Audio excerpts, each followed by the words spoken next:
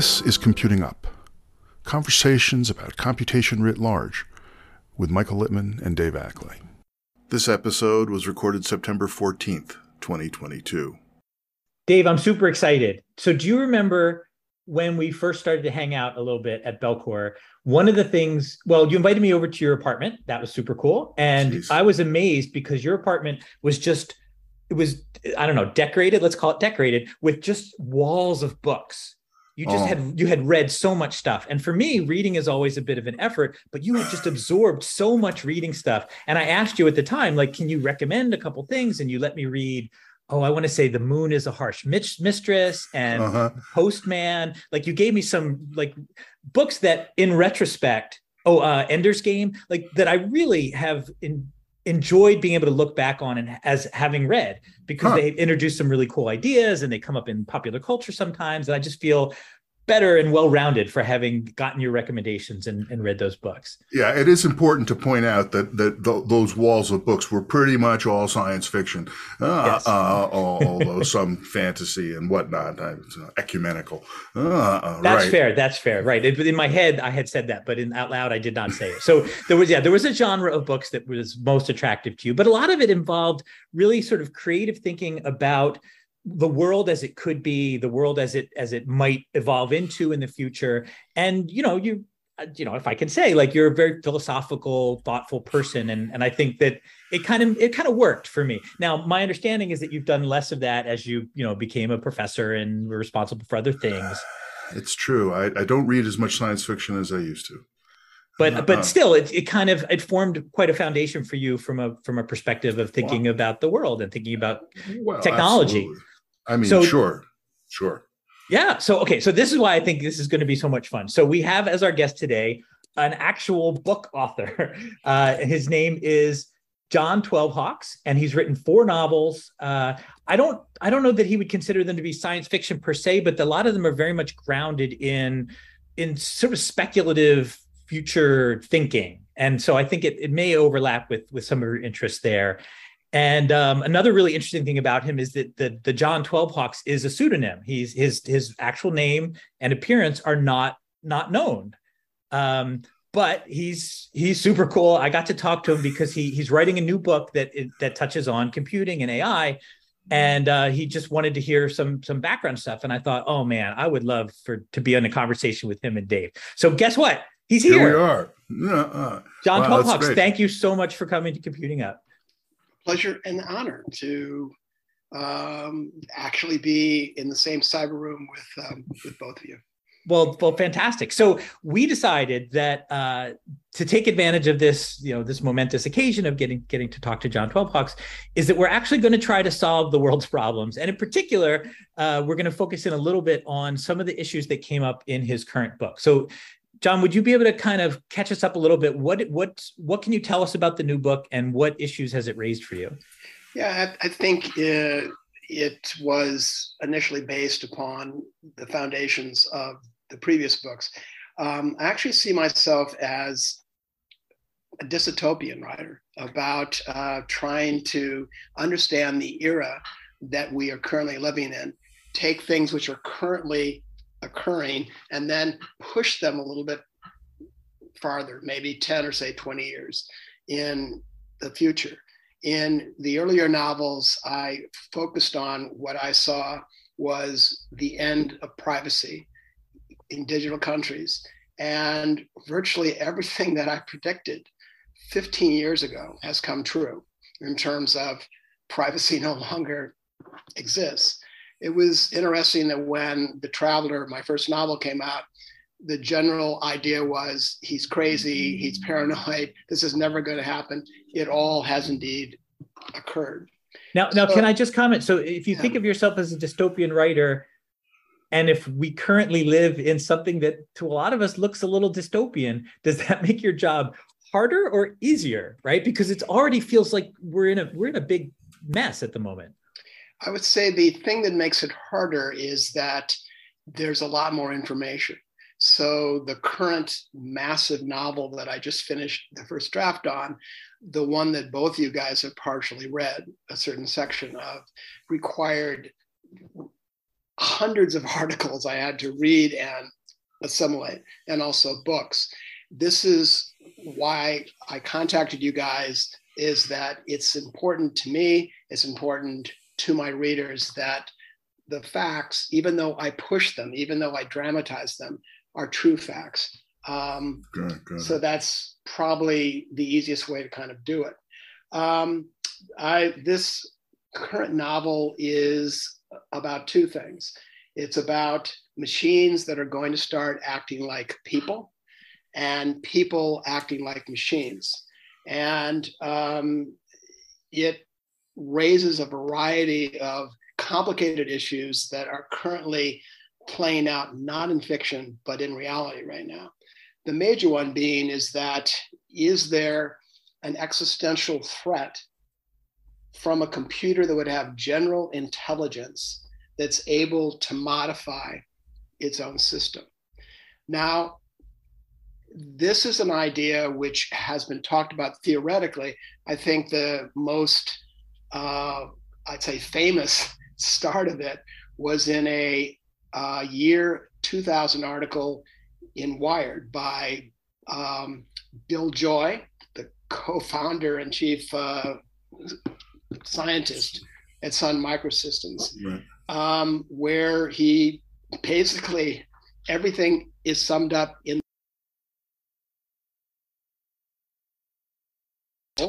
um, Elon Musk um, have pointed out the possible danger of a sentient computer that can that can think and actually modify its own program. So, as a start, I would throw it back to you two guys and say, is that is that theoretically possible? Yeah. Well, you know, we've talked about it a little bit. We've had some guests on that we've touched on it a little bit, but we haven't we haven't gone super deep into it. And you know, all all I have is kind of gut feelings about the way systems work and about the way computers work, since you know done a lot of that. Uh, um, and I feel like is there any risk? Sure, there there is some risk. Is the risk species threatening? Uh, uh, then I don't know that I think it's any more species threatening than lots of other things that don't involve computers, uh, you know, like biological stuff and, and so on and so forth. And to me, uh, you know, there's tons of this existential risk, AI, super superintelligence stuff out there and I think if I had to guess that a lot of it is based on intelligence overestimating itself. It, it's a lot of it is based on uh, the idea of an intelligent creature thinking the most important thing is being intelligent, eh, uh, rather than, for example, being extremely powerful and, and owning a gigantic corporation or, or running uh, autocracy uh, over a billion of people, something like that. And my feeling is, after thinking about this a lot and doing work in AI and neural networks and computer security and so forth over the years that intelligence overrates itself. Uh, by a lot. And that's why this idea of the super intelligent AI seems so threatening because we think, you know, man, if I was just a little smarter, then whoa, I'd be the king of the world. Uh, I'd be, you know, whatever like that. Uh, uh when and and that's just not true you know that that my future my degree of money power success is limited by so many things more than just my ability to think of the next idea. Does that make any sense?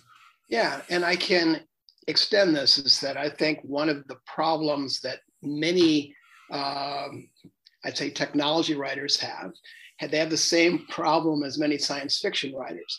They get hung up on the idea of a computer or a machine being sentient. In other words, it's very much of a human centered evaluation of, oh, this is this is going to be a, a, uh, a box that is going to think like a human, act like a human, have human emotions. I doubt very seriously if that is going to happen. the real issue is exactly what you just said, David, is that if there is a system or a machine that's autonomous and has a vast degree of data set and is powerful, is that is the power of a, a system like that going to be a dangerous thing? And I would right. say that it is, as long as we don't put ourselves in a bag like, oh, it is going to demand that uh, it has to listen to Mozart or or Beethoven. No, it's not going to be that way. It's, it's going to want to preserve itself. I yeah. think is the number one objective. Well, I I, I totally agree. Uh, I I, I, talk about my sort of philosophical approach to life and my entire research career as being living computation, focusing on the relationship between living systems and computational systems. And for me, the definition of a living system is a pattern that does work to preserve itself. That's what life is. And if we look out in the world and we see patterns that are appear to be doing work to preserve themselves, we say, "Hey, look at that! It's kind of alive." And so the the short answer is, I, I embrace computational paganism. That wherever you look out in the world, if you see a pattern doing work to preserve itself, then you say that is life. That is what life is. So and com- computation in the big picture is how you choose what work to do to try to preserve your pattern. That's what computing is. And so people ask, you know, how does where does meaning come from, for example? And and I say, well, the answer is is that meaning comes from the fact that you're trying to work to preserve this pattern, and you can always trace it back to well, there's a you know this particular piece of code, this particular utterance, whatever it is, was part of this particular pattern doing work to preserve itself, and that's the meaning. That's the ultimate meaning. And and all the rest of it derives from that. So but, then the question, go ahead, wait, Michael. So can we get back? So, so, so John was raising, you know, sort of threat issues, and I feel like you've in the past, Dave, you talked about the that in in many ways the danger is not so much the super intelligent machine that controls the resources it's the highly nonlinear resources right like right. one button push can destroy uh you know 100 square miles that's that is a very dangerous thing in the hands of a human and in the hands of uh, right. or, or in the circuits of a, a machine. Right. So, the, so that last point about having this big system and putting the AI on top of the system, most of the danger resides in the system and not in the AI that is supposed to be charged with pushing or not pushing the button like that. And what we really need to be thinking about is do we want to be building systems that are capable of such unbelievable damage at the push of a simple button? Like that. I mean, that's Hair the trigger. definition. The definition of a weapon is a simple switch that causes massive damage, uh-uh, like that. And, you know, I want to, and again, that's why I think the intelligence part is a little bit of a red herring, uh, because it kind of justifies looking away from the systems, the Hellfire missiles, the, the nuclear holocaust and so on and so forth and saying, oh, that's okay. We'll make our AIs take philosophy, uh, uh, and it'll be okay okay, uh, you know, or, or whatever it is. And, and, to me, that just seems just silly, uh, uh, like that. It, it, doesn't matter whether it's an AI or a crazy person or whatever that's pushing the button. It's the fact that the button exists and could be pushed that is where we need to focus. Um, one of the more, um, I'd say, interesting interviews I had with a specialist about this book is that I was down in Johns Hopkins talking about the way machines use language, how they understand language and how they speak language. And then everything is done and we're we're having like a drink, some white wine. And I'm going, well, what else is going here? And she said, well, a colleague of mine is has been working on this fascinating stuff about psychopaths and then she started to talk about psychopaths, okay?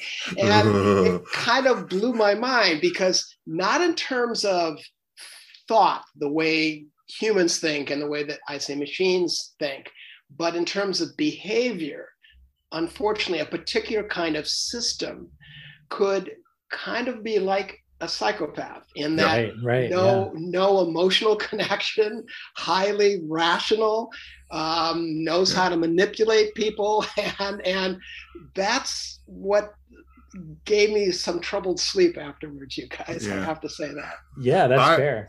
I think that's that. I think that is fair, and I think that points you know so when people say we we should ban ai research or no, no, or, or, something like that well whatever. I mean people yeah. do say it. Uh, um, my feeling is more that well we can't. It's going to happen whether we ban it or not. But what we need to do is make a culture of respect for life. Uh, and that that we, we need to generously think about extending the franchise of considering something to be life and maybe someday considering it to be intelligent, maybe someday considering it to be sentient or to have rights, uh, um, in our computational paganism way, uh, so that we, we won't act like jerks. Uh, I mean, I, you see those Boston Dynamics videos with the robot dogs and the humans kicking the robot dogs, trying to knock them over. And I keep thinking, you know, Christ, in 50 years, the robots are going to see that video and they're going to say, screw you humans. This is what you did to baby us. Uh, uh, like that, you know, and that's really interesting that you said it. Cause I think a lot of people have that very visceral reaction to the videos. And I actually was at a, uh, I don't know, let's call it a cocktail party. It was some kind of a, a gathering with Mark Raibert, who's the the sure the, the, the person who created Boston Dynamics. Boston Dynamics, and I said, you know, those videos, like it's really hard for people to watch those. Like, I think maybe maybe you could find a way to present the the the amazing things that these systems are doing to react to unexpected inputs that don't look like abuse and he laughed at me. And yeah, that was the yeah, end of the conversation yeah, because i, I really don't think he had he's having that kind of reaction. For him it's just it's just a system that's reacting to inputs and he wants to demonstrate that. But right. to a lot of people watching it it it yeah there's this paganistic kind of like it's kind of alive. Like it is making an effort to stay balanced and you keep thwarting it. Like at some point it's going to get pissed at you. I would i would add here um and perhaps anyone listening to this might find this interesting. I probably know more about sex bots than just about anyone in the United States these days. And making of sex bots, how they work, uh, vaginal cartridges, which is which is which is a thing, how you clean them, how you clip them in, how you take them out, etc., etc. Teledildonics is a phrase I've right, heard. Did right. that come up?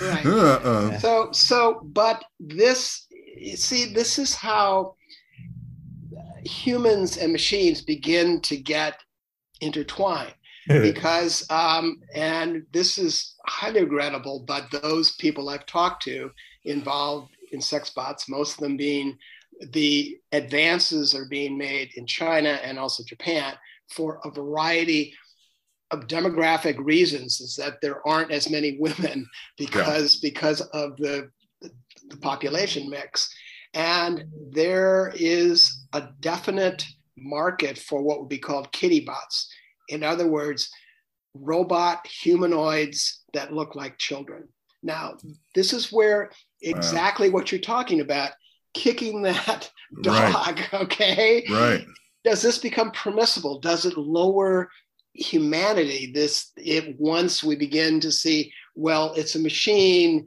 you know though it looks like a human being. I mean it, it's it's a it's a tangled web. Yeah and it's not so simple.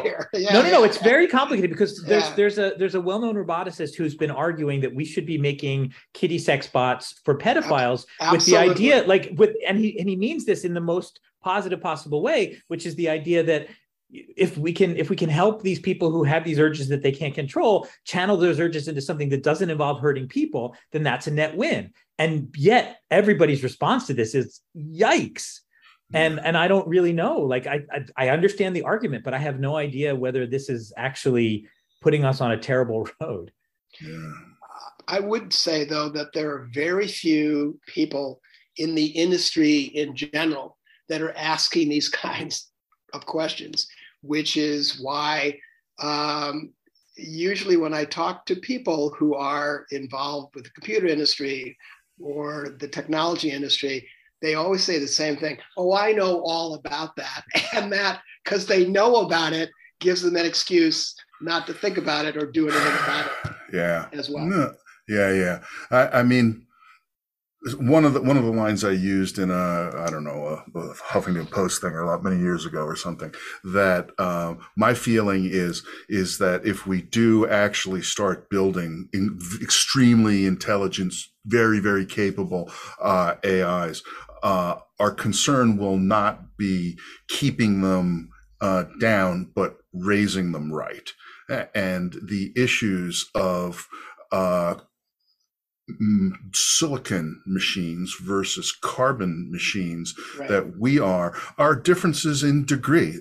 They are not qualitative differences to me because they're they're all machines. I'm a machine. We have just lots of different kinds of machines. Once we get past that very simple minded deterministic tick tock newtonian clockwork thing and we admit that machines can have all kinds of random pseudo random quantum who the heck knows behavior uh, uh, well then okay then I, I, don't see a big difference between you know machines that we manufacture and machines born of man uh, uh and we should be doing a much better job raising machines born of man uh, uh, if we actually want to solve the problem of people being psychopathic and and and doing very sad things and, and, and so machines forth. being psychopathic too yeah. well and, and my point is is that it's the same thing right that they're actual that that in fact all roads lead to Rome. There is a sense of healthy computing.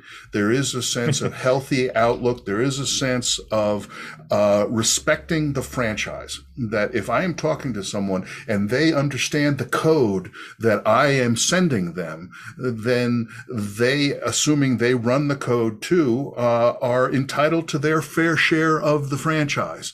Uh, and wait, so what, what is this word franchise to me is like McDonald's? What what do you mean in this context? the the franchise is the organization that that we are part of, and and my, oh, suge- the my suggestion, maybe. the community, the society, like that. I see. I see. And I see. and so you so we had a, a, our guest. Uh, Tina Eliassi Rad uh, many months ago, who was talking about democracy and, yeah. and stuff like that, and uh, thinking about what democracy is, and and that was where I was going to think of what the the fundamental core of democracy is that if you run the code, that we are all equal in this. If you run the code, you're entitled to your fair share of the franchise, the the bet to benefit uh, uh like that, and if if we can spread that, if we could spread that. I mean, you know, I'm a hopeless idealist. This is this is obvious. This episode is is bringing it out in me.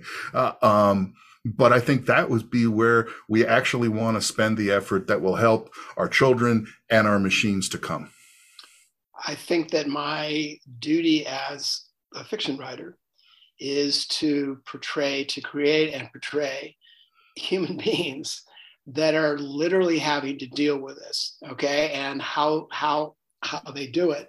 Um, keeping on sex bots just for one more beat, one of the chapters uh, early in this massive novel, one of my characters goes at night to a sex bot brothel. And what a fiction writer does is you think, or you have to think, what's it going to look like? What what's going to happen there? What is he going to do? Okay and all of a sudden i realized he would probably be carrying a flash drive which is now nicknamed a sex drive okay? And that he, uh, there's a pun that i can really appreciate yeah. he, he's going to plug in the flash drive to the sex bot, the hardware, and, yeah. And she'll instantly know his name, who he is, conversations they've had in the past, what his particular peculiarities are. Okay, so rather than store this intimate stuff on a server where maybe someone can get at it, he'll be carrying his sex drive as physically as with him. Yeah. Yes, and so that's what you try to do as a novelist is that Ooh. all these ideas that you guys are expert on is what are the human implications of it right you know well certainly it's always about the systems that our machines are going to be embedded in. And, you know, one of the, one, one phrase that drives me absolutely crazy is the phrase unintended consequences, uh, uh, like that, because to me, that is the poster child of, yeah, but they were so obvious that if you had given it a little bit of thought, you would have seen that that was an obvious consequence. And the fact that you didn't intend it means like little to nothing. Uh, um, and that we have to get more serious about taking a system view. What? I don't know. That seems a, maybe a little unfair. It is. Some of these things are. You're. It's. You can definitely use that as an excuse. Right. A person can use that as an excuse. Oh, it's an unintended consequence that right. they actually did foresee but didn't want to pay attention to. But well, some cases, it can be the, the interactions are really subtle. Yes, like I yes, feel like yes, the idea of creating recommender systems to like tell you what to what what uh, you know what sneakers to get or what video to watch next. Like i think the people working on that really did not foresee that it would somehow get turned in on itself as a way of of radicalizing right. people. Right, right. and well, that was the, an unintended consequence. Well yeah. So but to me there's a, this general principle that if you were going to deploy stuff on people if you're going to deploy mm. stuff on humans, the humans are going to react. And that's the part that we always kind of skip and yeah. then say, oh, yeah. that's an unintended consequence. And I think that is unacceptable in this day and age that okay. you, ha- you have to be willing to turn the crank and say, okay, now when people realize all of their choices are being mined to make selections to make that, what right. are they going to do? How are they going to yeah. counterplay? right. Uh, right. Like Play that. the chess game out a little bit. Exactly. I would, I would argue that there was a historical moment in in scientific history that in an odd way duplicates what is going on right now and that moment was the manhattan project yeah the wow. development of nuclear power and a nuclear bomb i have right. read endlessly about this there are diaries people kept at los alamos yeah. okay and it was cool science. And it was exciting. Every day was exciting. And all these smart guys were there. It's it's exactly like what is happening right now.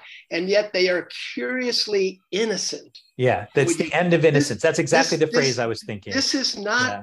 what is what is going on. People are not pernicious. They're not you know snidely whiplash twirling his mustache okay? It's just they are either deliberately endless or it's a really cool stuff they are doing. It's an endless problem they love to solve, but they really don't think about the human implications of yeah. what they are possible. And I think that's legit. I think that the, that the physicists had a end of innocence moment when they saw the bomb deploy. And I think it absolutely. It, I think the field's been different ever since. That there is much more of an awareness of like, wait a second, what what's the next step here? What how can this go off the rails?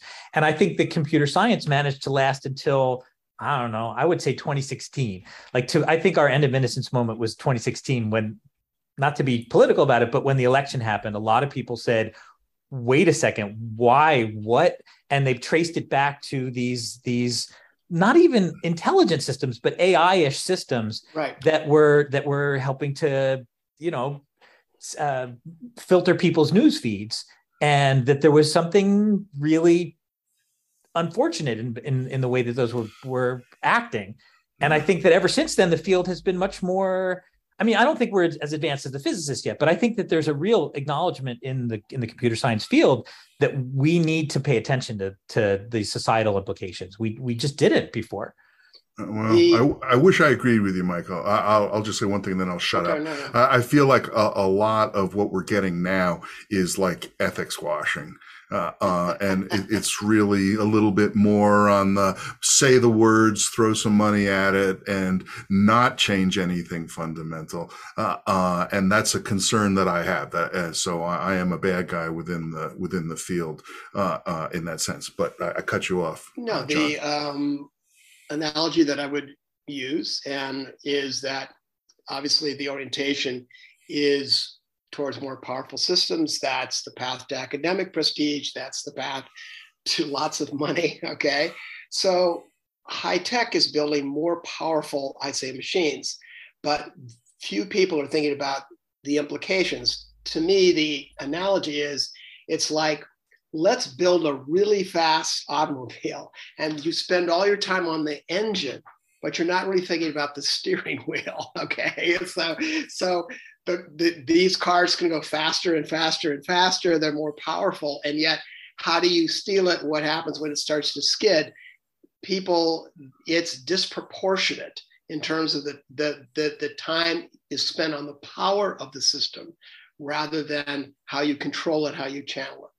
Yeah, I mean, that's a great I, analogy. I, I would I would say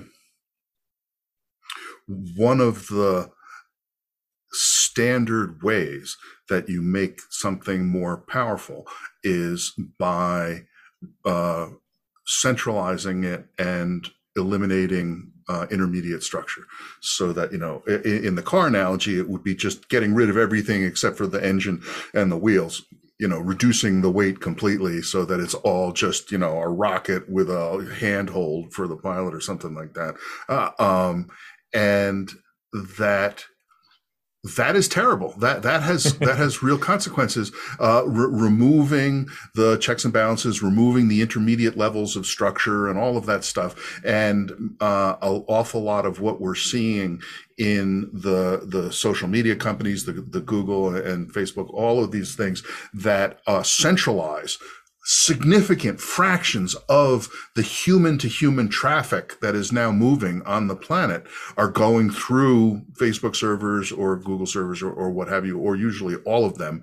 Uh, um, and that is a tremendous problem as far as I'm concerned. That's a tremendous risk. That so I think that's riding in parallel to your thoughts about powerful systems. Right. Uh, uh, uh, but to me, the the, mis- the, the mistake or even the evil of it is the centralization, is the removal of all structure except the periphery and the center, uh, um, and making it into you know panopticons and and all of this kind of things that we have now. All right. So this um, leads to an issue where I'm really going to defer to both you guys because you both are literal experts on this, okay? Which is my outsider view is that um, in the last, I say, 10 years, um, computers are being built and run with vastly more, uh, usually the term is like um, parameters, uh, yeah. meaning the mm-hmm. for uh, a non-computer person, these would be the coefficients applied to say different calculations. So all this has increased speed and capabilities. Um, the growth of machines which are basically following what would be called a foundation model, meaning it can answer a broad spectrum of problems and not just, I'd say, one. The problem with all this, and I'm going to come to my question, is it seems to be because it requires so much energy, so much computing power that it's dominated either by governments or really large corporations. Is there any way to change that? Is there any way to create a system where Joe Idealist and Mary, I'm really smart, in their garage can do something that is not part of that system? That's yeah. my question. Possible? You, you, you want to you want to take a crack at it, Michael? Sure. Yeah. So so uh, I you you listed to, uh, a couple of reasons for why this kind of centralization is happening a lot now. One is yes. the mm-hmm. the massive computer power, but the other one I think that's really important is the massive data. And yes. so it's the companies that have collected lots and lots and lots of say human behavioral data, click data, and so forth that that have that raw material that these these machine learning algorithms require to ingest. So lots of text, lots of lots of clicks, lots of reactions of things. Um, and so I think, yeah, I think the problem is as bad as you say, and maybe worse. We can, you know, d- you know, Dave's working on a new architecture for computing that would allow the computing system itself to be more distributed, more decentralized. But that doesn't solve the data problem, right? So even if that helps with making the processing a little better uh, or a little less centralized, the the the data uh, these these systems depend on data. Now, one thing I would say is that it's I don't think it's a necessity, right? It is not the like these systems that are learning to process language now read more than any human being has ever read. Maybe right. like the union of all people have read. well that's probably not true because everything that's written is probably read by somebody so but but they're reading more than a normal human being reads and they're getting less out of it than people so the current algorithms are really wasteful in terms of how much exposure they need to reach a certain level of competence as it were um, as we develop algorithms that are less wasteful in that way yeah i mean you you know you said john and mary in their garage like they could make a person and make a smart person. Like you know if they like each other and stuff they could probably do this on their own. Could you do that with a computer? Yeah they'd be able to raise it the way that dave was talking about before. So right. we just but those algorithms don't yet exist. The only way we know how to make those kinds of systems today is by just inundating them with with examples until they can just almost luck into uh, a way of behaving that fits with those examples so I, okay. I, I, I, would I would add two uh, points to what Michael okay. said. Uh, so one is uh, there is you know these gigantic models. Uh, uh, like many large systems, like many complex systems, uh, you know, the first one costs a billion dollars and all the rest are free, like that of a, a specific piece of machinery. And the, the poster child for that now is um, uh, stable diffusion uh, right. that uh, people spent whatever it was six figures to train this thing up and with a with a enough data to choke uh, a horse choker uh, um, and, and, but now it's whatever it is. It's it's three gigabytes of parameters of these weights that you're talking about uh, um, and anybody can have them. And furthermore you can do like little add-on tunings. So the fact that you couldn't afford to do the, what stable diffusion has got distilled into it yourself doesn't mean you can't do cool learning little bits and stuff in your garage with your GPU, your uh, uh, stuff that you've bought, because you use the stable diffusion as part of your starting point. Yeah, now, and just and just to just to point out for people, stable diffusion in this case is referring to the ability to turn like little text descriptions into elaborate pictures, right? Right. Yeah. Well, and and then you can do all these tricky things with it. You know, you can kind of run it backwards, and you can kind of take part of a picture and turn that into a prompt, and then turn that into more of a picture. Uh, uh, all of this stuff that you, that you can do. So, and, and, again, that's just the sort of the early stages of it, like that. Uh, um, and so, in that sense, uh, maybe there's some hope that it only takes a few philanthropists to put out a few of these incredibly big things. And the other point was that you know, um, you know, Michael was talking about how you you need the data, and unless you are one of these gigantic things, uh, uh, you can't get the data. And you know, the view that I'm doing, the the kind of computing that I'm trying to work on, is this idea of build bottom up uh, uh and make structure at all scales. So you are going to have computers that are yours, not not just in the bullshit personal computer sense that we use it now, but in the sense that, you know, they will die for you, uh, that sort of thing, that, that, they actually know you. All they do is study you. Uh, and uh, they uh, uh, will not give you information away. They will defend you and all of this kind of stuff. And so, in fact, they can come up with a ton of data, but it's all about you, uh, like that. And that, that could be enough. It, it becomes sort of a boy and his dog dog uh, kind of, of scenario that that you have this thing that is your best friend in a completely weird little machinery sense uh, uh, but it's trustworthy because it knows you down to the actual space you currently occupy in the world. It knows right where you are. It can't be fooled it can't be saying, "Oh, I've got I stole your password, now I can be you."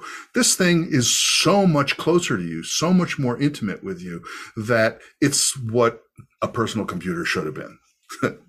that's my story about how there will be ways for even not well i mean it's going to cost a billion dollars to make the first of these personal computers so we're still going to need the philanthropist we'll see what happens from there everything you have described is in this new novel. Okay? Dun, dun, everything, dun. Every, everything you just said. Is there a GitHub repo for the code?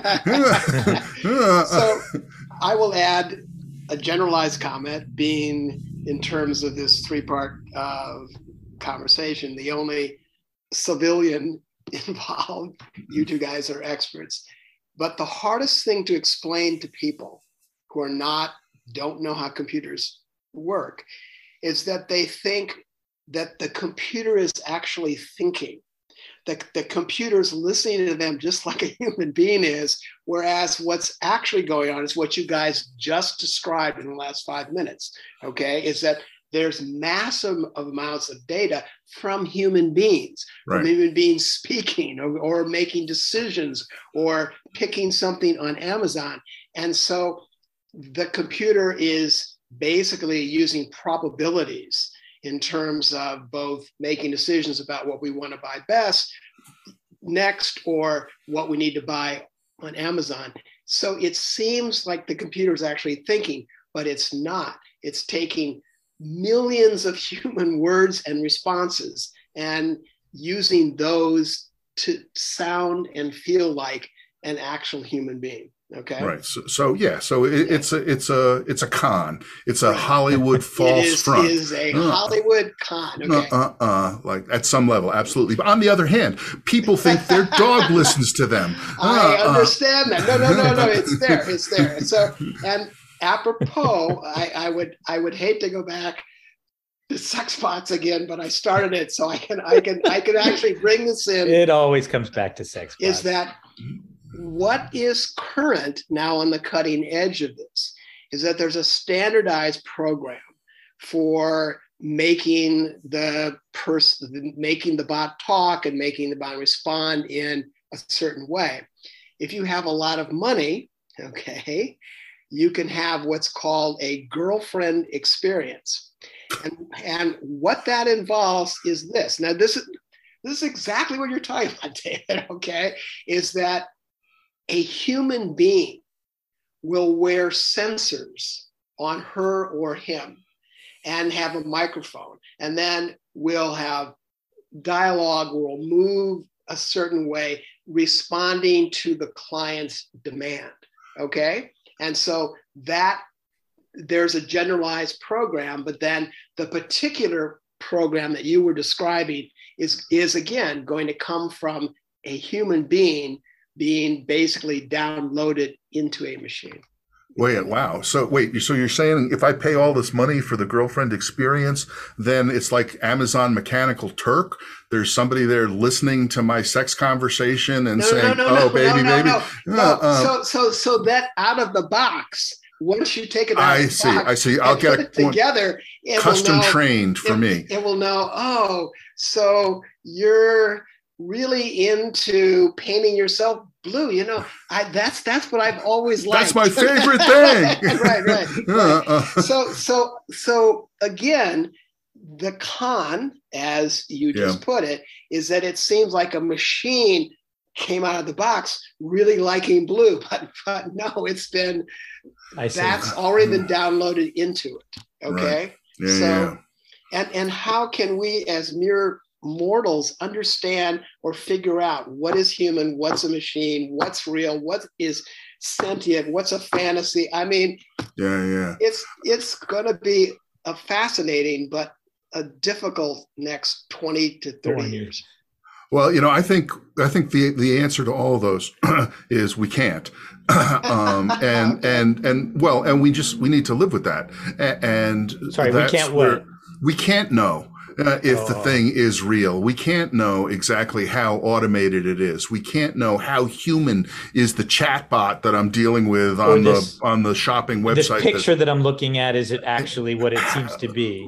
Right, or is it uh, you know a creation, but it's being customized in real time based on my eye movements or whatever? Uh, um, and the point I, I, I, will, I will go back to my hobby horse, not sex bots, but computational paganism. that that we just have to give up on it's human or it's not, it's consciousness or not, it's not sentient or it's not, and we have to admit that those things are all spectrums, uh, uh, spectra of ranges of sentience, ranges of humanity, uh, and we can change the focus to how can we be more human? How can our machines be more human? Not how can we have a bit flip that that says this is not human, therefore I can kick the crap out of it because it's just a machine. That's where the mistake is made. Uh, um, and so uh, we'll see. Uh, uh, I'm sure real soon everybody's going to buy into computational paganism and it'll be a better world. Let me ask you a question. Let me. I'm gonna. And this Shoot. is a you are an optimist. practical Holy question. cow. Okay, Shoot. these these are actually being considered. Um, can a machine um, own a own a copyright? Can a machine have a bank account? Hold on. Last yeah. question. What do you do if if a machine kills someone? Yeah. Uh, uh, since I literally, genuinely, sincerely, to the bottom of my soul, believe that I am a machine, the answer is yes to all of those. Uh, uh, How do you Uh, like put a machine i- in 'Cause- prison, Dave? Because Dave is a machine. You could put Dave in prison. That's uh, his- like He, that. It's he- no he didn't different answer than the question. me. He dodged Yes, the I did. question. He I did dodged the question. The, ca- the, he the question was about uh, you know things that other people call machines. So like a Oh. computer, a, Yeah. a, a telephone, a car. Uh, Right, uh, so can you put a car in computer prison? can a computer have a copyright? Can a computer own property? Can a computer have a bank account? Can a computer be arrested for killing someone? Yeah, yeah. Uh, um, uh, as far as I know, you know, most of those questions are legal questions. Uh, Yeah. They are, well, really, um, Yeah, yeah, they're, they're, they're not something that can be answered on first principles, uh, um, because the line of, you know, computer that just, you know, computers today, computers today are a pitiful joke. Uh, uh, so again, it's, it's the, it's the Hollywood con, it's reality, a hundred miles wide and one pixel deep. Uh, um, and so we, we know all, all of those things. No, that, that would be like drawing a picture, you know, taking a piece of paper and writing person on it and then saying arrest that. Uh, uh, that, that would be about as well as we were going. But, but we're just getting going. We are just getting going. Yeah. And, and, and once we get beyond determinism and beyond the kind of little teeny area of manufactured computers that we've been clustering ever, ever since von Neumann in the 40s, uh, uh, we will start to be able to build much more complex, much larger, much more capable, much more sensible machines. And, and then it becomes absolutely gray. Uh, when we start giving them agency, either as a, a personal friend, like we talked about, or as someone who has rights or someone who has obligations and could be put in jail. So, you know, down the road, that's your job uh, uh, Right, to show us us what it's like when Yeah. machines get to that point. But they're not there I- now. That's the point. I, I am a positive person, so I, I, I will I will leave this on a positive note. Um, is that if anyone hears this in the future, or if, or if it's in a time capsule somewhere, and someone is listening to this 50 years from now, at least for an hour, three people endeavored to answer and to raise and answer some highly difficult questions, and unfortunately, not a lot of people are actively doing that. So Well, agree. it is a privilege to talk to you both. And this is what we have to be doing. We have to ask these questions and try to answer them.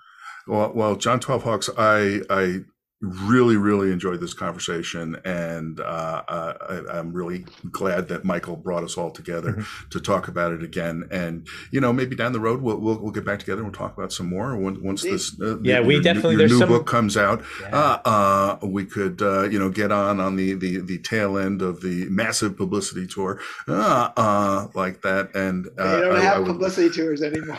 yeah, yeah, yeah. Well, it's just you know, next Zoom room, next Zoom room, uh, um, uh, like that. Uh, um, but uh, it just it was a lot of fun to to meet with you and have this conversation. a pleasure.